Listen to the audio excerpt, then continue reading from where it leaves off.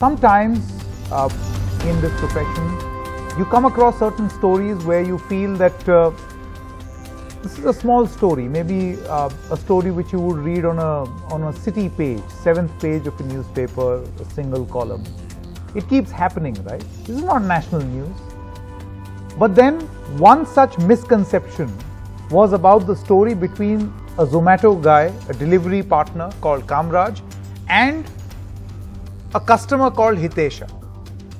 This story came out in the public domain because there were certain claims that were made by a customer.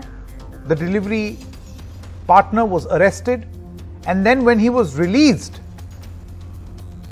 he gave an interview to NDTV in which he broke down. He explained his side of the story because, on the basis of the original complaint, he has been suspended.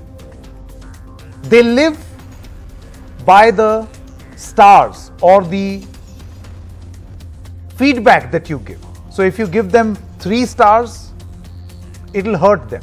You give them five stars, it'll help them. That's what they live by. Kamraj says that why would I beat someone up? He narrated his side of the story. Now, the tricky situation over here is that who do you believe? Because it's one person's word against the other. Who do you believe? So, the truth is that what we have right now are certain facts at our disposal. And then eventually, it is the investigating agencies who are going to decide whether Hitesha is lying or Kamraj is lying. Clearly, one of them is. We don't know who, and we cannot sit in judgment. But why has this happened, ladies and gentlemen? This has happened because of the manner in which the laws are, exist around people like Kamraj who are delivery partners. Who are they? Are they employees? Are they partners, as their name suggests? Because the government acknowledges them as employed. But what about their rights?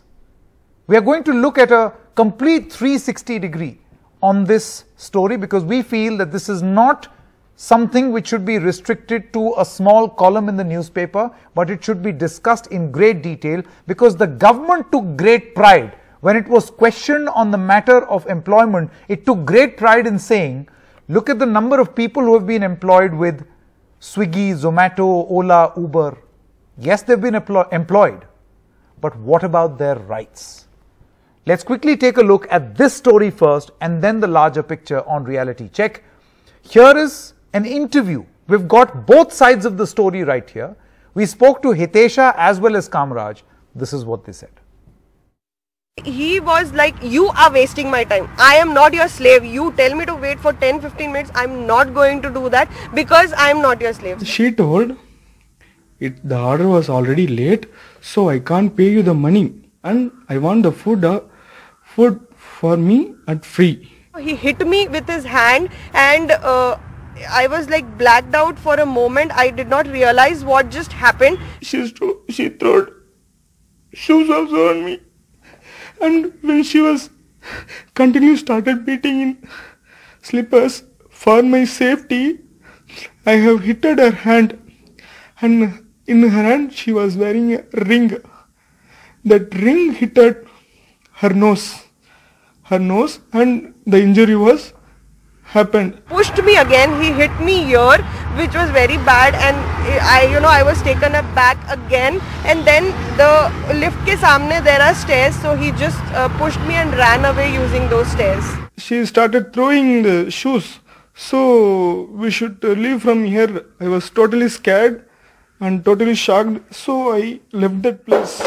Immediately I left that place. So you've heard both sides of this story.